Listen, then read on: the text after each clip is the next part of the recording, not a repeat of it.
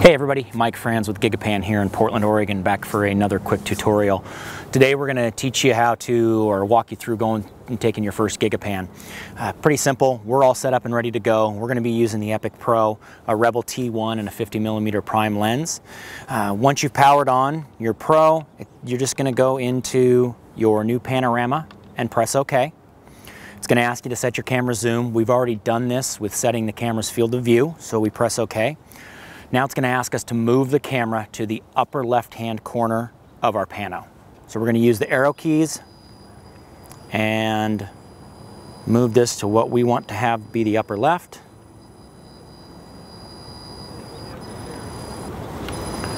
And we'll call that our upper left and press OK. The next thing it's going to ask you to do is move to the lower right of the pano using the arrow keys again. We're going to go ahead and move to the lower right hand corner.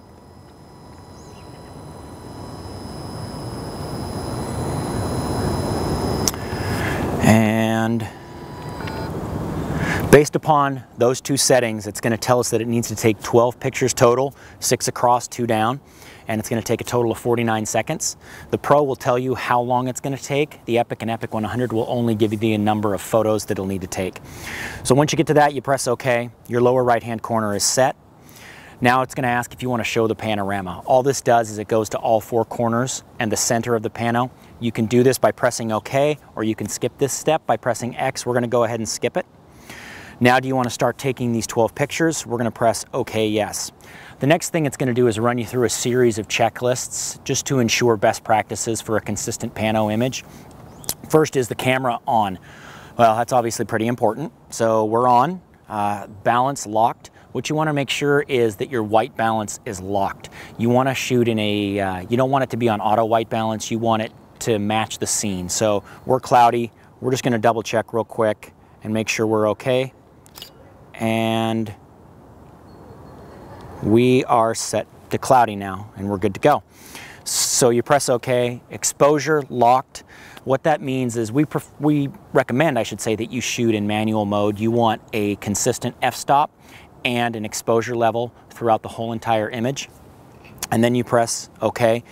Lastly, as your focus locked, we also recommend that you shoot in a manual focus so that autofocus isn't hunting for uh, somewhere to focus on during the image. Lastly is the flash off. You don't want the flash affecting anything in the image.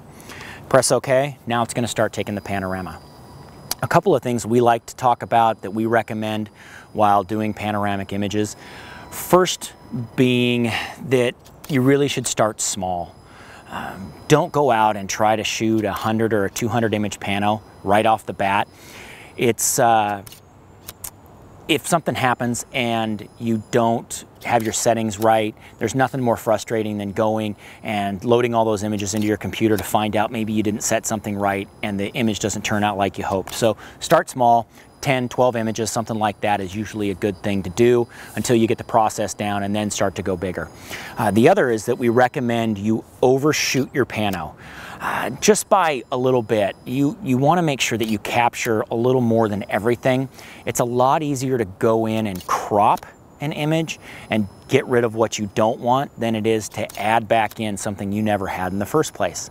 So with that being said, we're just about finished here. We're going to take our last shot with this pano and it's complete. And once it's done, you just press OK to continue. It takes you back to the main menu screen. All that's left to do now is to take the images, transfer them from your card into your computer and load them into the Stitch program. That's it. You're all done and all set to go. Uh, thanks for watching and uh, check out more of our tutorials on our website and our YouTube channel.